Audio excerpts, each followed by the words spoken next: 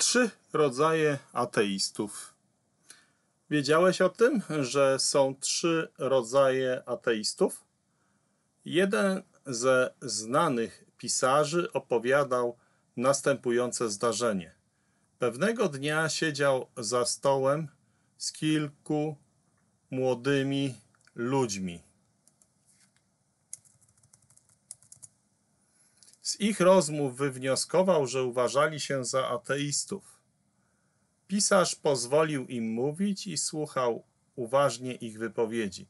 Potem spokojnie powiedział do nich: Moi panowie, są trzy rodzaje ateistów. Jedni są głębokimi myślicielami, którzy przy studiowaniu systemów filozoficznych dawnych i nowszych czasów zeszli na bezdroża materializmu i w końcu stracili wiarę w Boga. Nie wiem, czy takie studia doprowadziły was do niewiary. Wszyscy obecni ze skromnością temu zaprzeczyli. Drugi rodzaj stanowią ci, którzy bez własnych przemyśleń powtarzają często słyszane słowa tak, jak to robi papuga. Nie uważam, byście do nich należeli. Tutaj również stanowczo zaprzeczyli.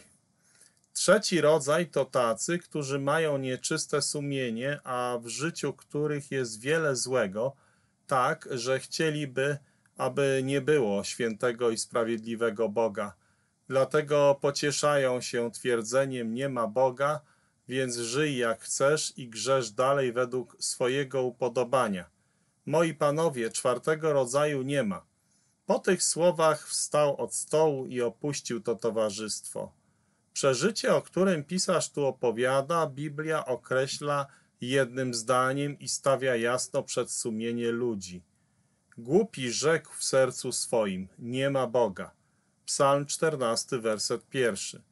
Czy ty też do nich należysz? Może twoja głupota ma źródło w ateizmie, może w materializmie, panteizmie czy w ewolucjonizmie?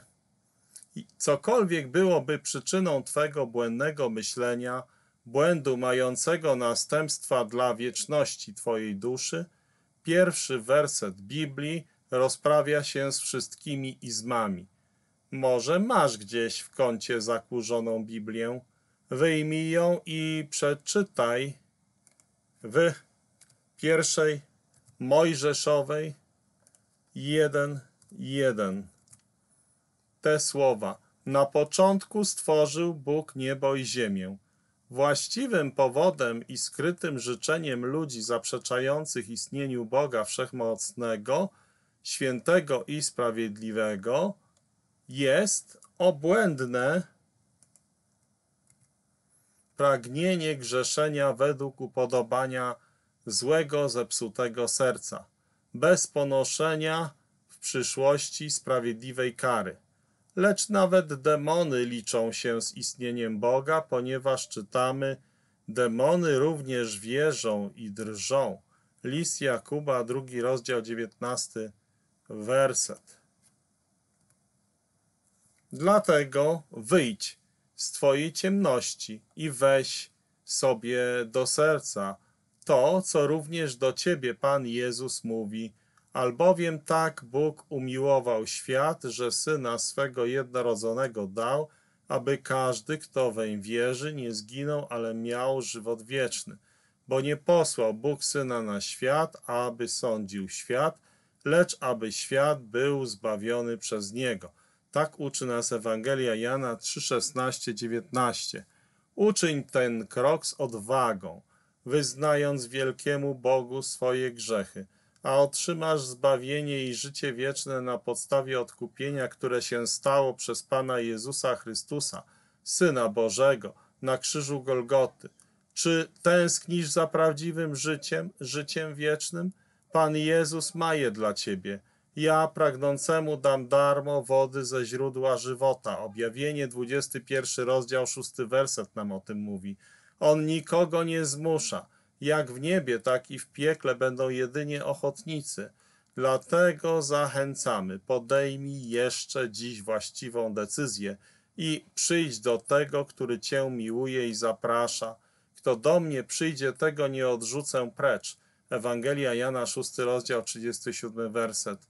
Kto zaś jest tchórzem albo lekceważy wielkie zbawienie Boże w Chrystusie, kto nadal pozostaje głupcem niewiary, kto nadal trwa w czynach gwałtownych, grzechu, okultyzmie i odrzuca miłość Bożą, tego los wieczności będzie straszny. Udziałem zaś bojaźliwych i niewierzących, i skalanych, i zabójców, i wszystkich kłamców będzie jezioro płonące ogniem i siarką. Tak mówi nam objawienie Jana, 21 rozdział, 8 werset. Jakże poważny i trafny obraz cierpień sumienia duszy i wiecznego oddalenia od Boga. Pozwól się ostrzec i daj się pociągnąć więzami Bożej miłości. Uwierz Pana Jezusa Chrystusa, aby mieć życie wieczne. Zwróć się dzisiaj do Pana Jezusa. On chce Cię ratować i zostać Panem Twojego życia, gdyż Bóg chce, aby wszyscy ludzie byli zbawieni i do poznania prawdy doszli. Pan Jezus obiecał, że nikogo, kto do Niego przyjdzie, nie wyrzuci precz. Ratuj się spośród tego złego i przewrotnego rodu. Uwierz Panu Jezusowi Chrystusowi. Przestań wierzyć sobie. Uwierz w Pana Jezusa, przestań wierzyć w siebie co do drogi zbawienia. Zaufaj Panu Jezusowi Chrystusowi, przestań ufać sobie. Niech Bóg Ci błogosławi.